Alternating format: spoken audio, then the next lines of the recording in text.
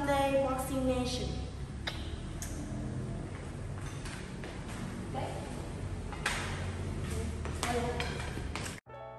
Dontae's Boxing Nation, what's going on, guys? So Roy Jones, he did an interview where he talked about the Devin Haney versus Lomachenko fight, but but I was a little disappointed with Roy Jones on what he had to say about that fight when he was sitting next to Paulie Malignaggi, because he does a podcast with Paulie Malignaggi.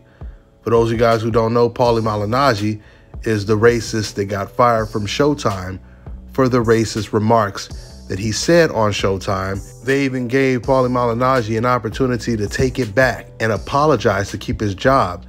And Paulie, he still didn't take it back.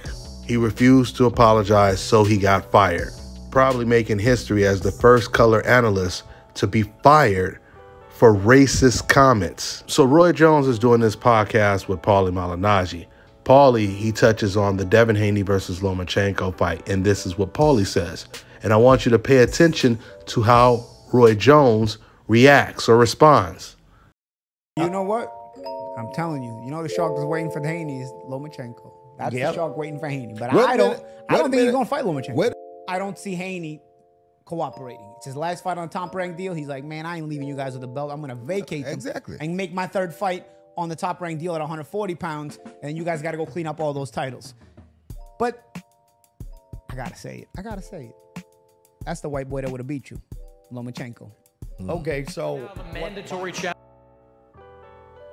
Okay, so did you see how Roy Jones reacted? How he responded? He didn't have too much to say right after Paulie Malignaggi pointed at the camera and said, You ain't gonna fight that white boy, Devin.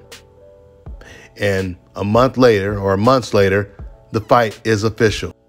And all Roy Jones said was, Hey, but you still forgot about Shakur Stevenson. Now, I just want to show you another clip of what Roy Jones Jr. said when he was asked who would win that fight between Devin Haney and Lomachenko. Listen to what he said. Um, Break it down, Roy. What can what, what can happen in that fight? thing, thing about that fight is you gotta realize people people always don't want to give Haney a chance, mm-hmm. but you gotta remember now. Let's take it back. Lopez beat Loma. Yeah. The other. Uh, Kambosos beat Kambosos Lopez. beat Lopez. Haney whooped Lopez worse than Lopez whooped Loma, or worse than Cambosa whooped Lopez. Yeah. He beat Cambosa worse than all of them. Mm-hmm. So so far, if you look at it, he's leading candidate. You understand me? Now, yes, Loma's a technical fighter, and he's one of my favorites. Gonna always one of my favorites. So is Haney. But what I do like about the fight for Haney is that it's gonna be size versus experience. Because Haney gonna be the bigger fighter, and Lopez showed that the bigger fighter gonna give Loma a problem. That's how Loma got it first. Lost with a bigger fighter. Guy didn't make weight, and he got and he beat him. So we know that Loma's blueprint has been the bigger guy. Haney's definitely a bigger guy who also can box. Can Loma go out and take all his boxing skills away from him? We don't know. But for them to say, oh, he don't have a chance, bull crap. That's a 50-50 fight. 50-50 fight. That's his size Yeah. and boxing ability versus uh, age and boxing ability. So that's an even fight to me. I think it's a you pick. So my question is, how come Roy Jones didn't go in depth when it comes to this Lomachenko Devin Haney fight the way he did when he just did that interview right there? The whole purpose of a podcast is to go unfiltered. Is to say whatever is on your mind. Now for Paulie, that's saying racist stuff, but hey, at least he is saying whatever's on his mind, right? But that's what a podcast is all about.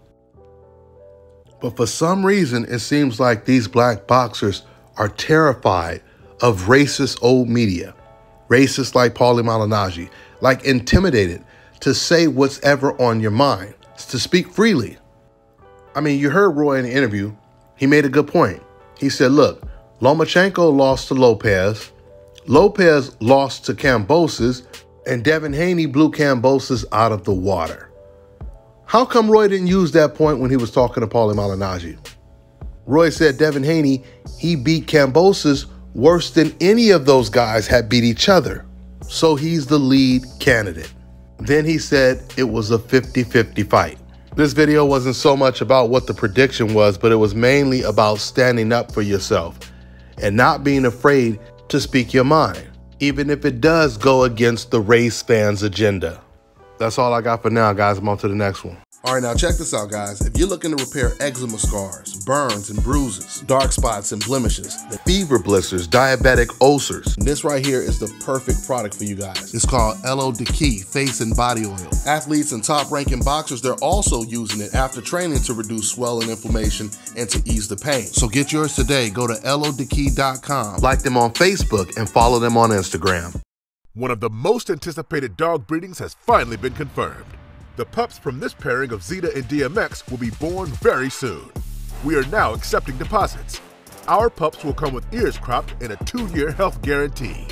Get ahead of the pack on purchasing a puppy by contacting NWA Cane Corsos on Instagram at NWA Cane Corsos. Call or text 479 326 1603 with any questions.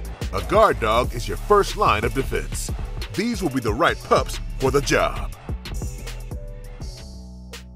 Let me tell you guys about Issa Israel Law Firm. It is a full service legal practice based in Denver, Colorado, an emerging hub for combat sports and high altitude training. If you're a fighter inside or outside of the ring and you need a law firm you can trust to fight for you, visit thefighterfirm.com or email help at iilawfirm.com. Legal representation is usually limited to plaintiffs or defendants in Colorado, but iFirm can help anyone in the world with trademarking their business name, logos, and U.S. immigration issues. This brother has been my attorney for a while and helped guide me through all kinds of business and civil issues, so make sure you guys go to thefighterfirm.com.